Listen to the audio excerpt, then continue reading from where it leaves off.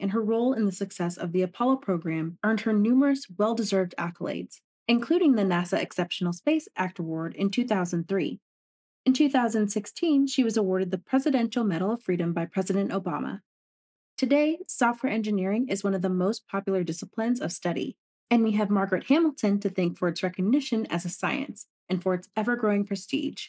The full video for this content can be accessed at the Reverie Media's YouTube channel. We hope to see you there.